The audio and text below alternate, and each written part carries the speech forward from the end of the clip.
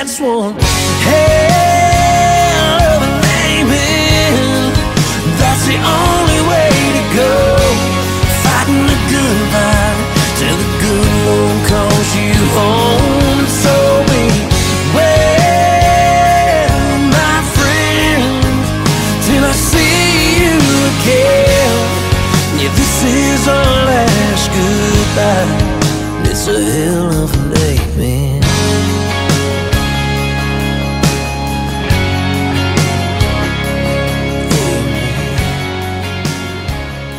20 veterans and several other service members spent their Saturday out on Lake Palestine for some fishing, relaxation, and a little competition.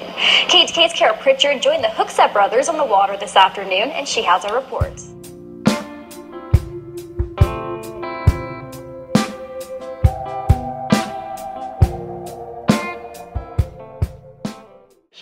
Adam Troy and Martin Montoya are two wounded warrior veterans who make up the Hookset brothers. Their goal is to break the cycle of PTSD in fellow soldiers. to get them away from self-isolation, medication. As part of their outreach, they held the first ever Operation Comfort benefit tournament. Operation Comfort was there for me when I was wounded and uh, recovering in the hospital from my wounds. Uh, they were also there for my partner Martin Montoya when he was recovering from his wounds. The organization supports wounded service members with both recreational and rehabilitative needs.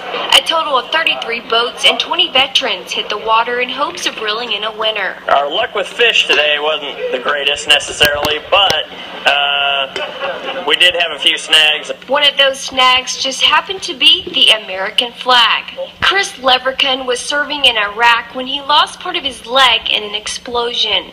I'm still alive, so it was adapt and overcome. We have a bond that we never left when we left the military, and we just want to keep it going and, you know, get people into the outdoors and uh, get them active. The tournament's just been a blast. It's to be able to come out here, uh, have have all the service members that have come out take part, uh, all the people willing to have them in their boats. For their first big event, it was a success, and it won't be their last.